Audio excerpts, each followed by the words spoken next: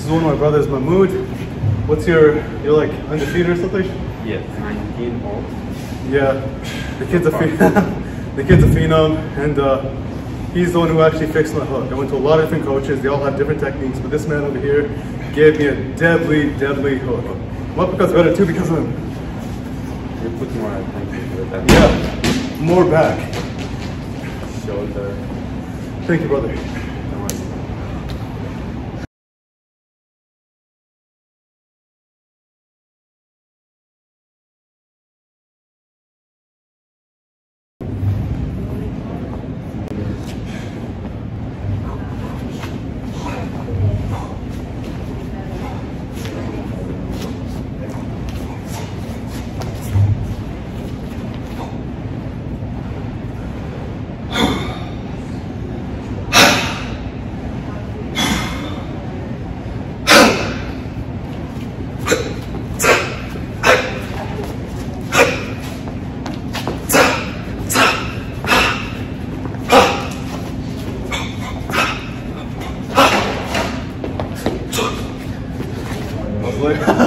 I was up bouncing.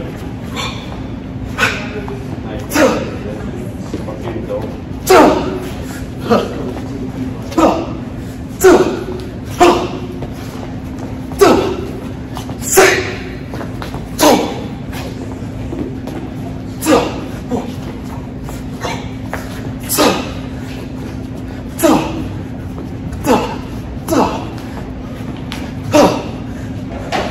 You like it? It's fucking dope. It was good?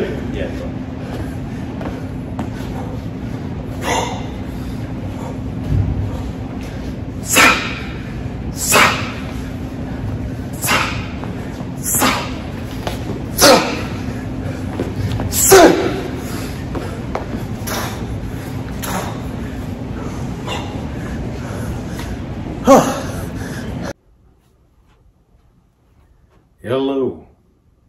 And so now you're beginning to see the difference made by just adding intention.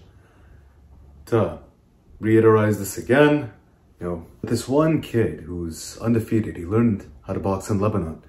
He uh, showed me how to really put your back into your punch, into your hook. And so it should be guarding the chin like this. And you should feel the engagement from your lats, pulling the shoulders slightly forward. And in doing so, you get that reach, you get the defense, but you also get a solid hook. If you want more power, you can engage your chest as well by having the angle a bit lower, but in doing so, you're more vulnerable. You see, uh, there's Adesanya do this with uh, Paulo Costa, pulling away as he comes in. But if you want to keep that solid defense with good power, solid power, just pivoting from your hips into it. That's the feeling you want to go for. You want to feel it load into your arm, but as you do, you want to engage your back.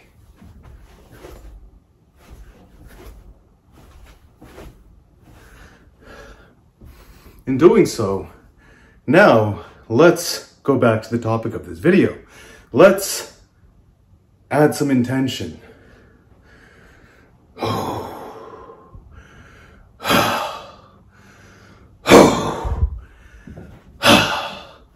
Still calm, still relaxed.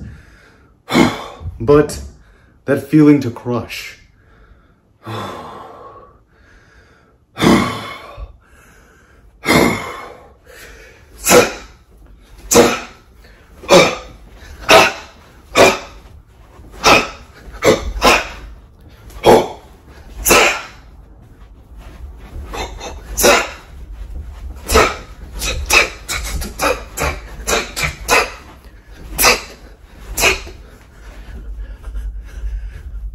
You can feel a huge difference in strike. And that's how the premise of intention works. By expending more energy, by categorizing a feeling, loading that feeling up with a label, and then getting that feeling to envelop you when you strike, still remaining calm. you're still able to see the moment. I was forced. You could tell the last one was forced. It should never be forced. It should be natural. It should come out of you naturally.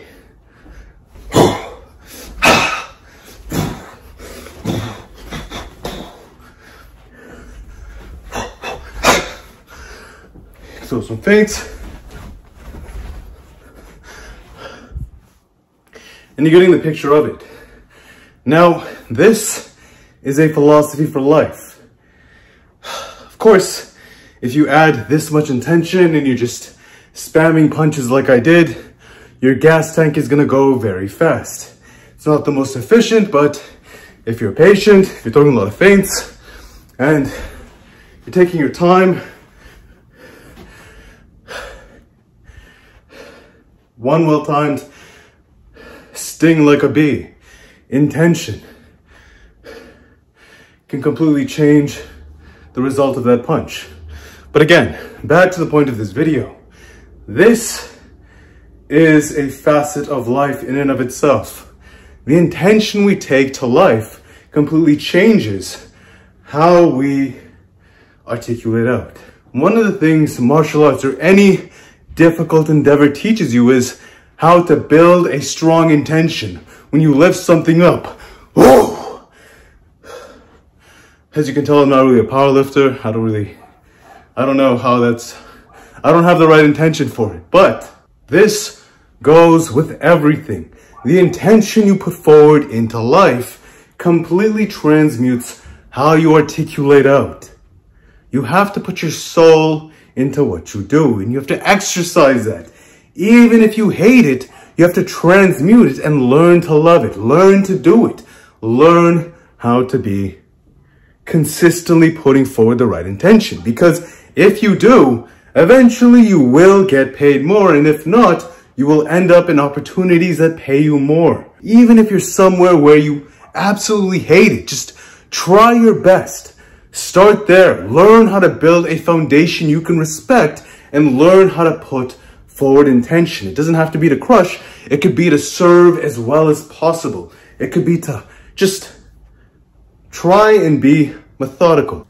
Whatever is the best intention for whatever you're doing, the categorized feeling, try to polarize yourself into a positive mental state and consistently deliver that feeling that's best suited for that environment. That's the secret to life, regardless of where you are. You will have an amazing life if you learn how to do this. Consistently, your life will just keep getting better and better and better.